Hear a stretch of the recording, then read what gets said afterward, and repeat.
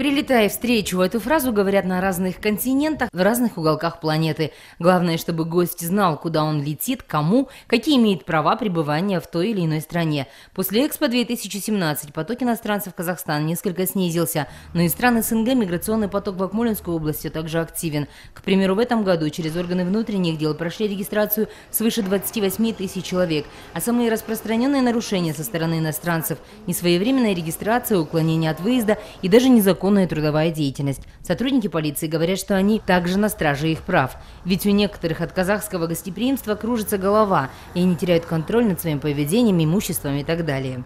26 464 иностранцев из, прибыло из стран СНГ. А около 2119 граждан прибыло с дальнего зарубежья. А, Конечно, по ним мы ведем работу. В случае депортации на сегодняшний день по итогам 10 месяцев мы депортировали 403 иностранцев стран СНГ. В том числе есть там и граждане дальнего зарубежья. То есть мы их депортировали, теперь они не могут к нам заехать в течение пяти лет. Мы им выставляем запрет.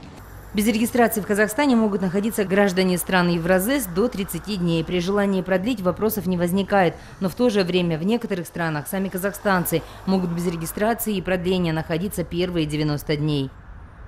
Я гражданин Азербайджана. Часто приезжаю в Казахстан.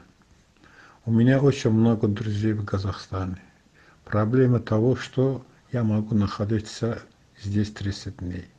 Когда ко мне приезжают друзья из, из Казахстана, они могут остановиться, остановиться 90 дней. Очень хотелось бы, чтобы пересмотрели данный вопрос. Достаточно и тех, кто приезжает в Казахстан за этноэкзотикой, курортным лечением в Бурабае, увидеть знаменитый байтерек и попробовать кумыс. Но полицейские предупреждают, лучше сначала ознакомиться со всеми правилами, чтобы не возникло недоразумений ни у приглашающей стороны, ни у гостей. Мадина Смогулова, Баужан Смогулов, Кукши Акпарат.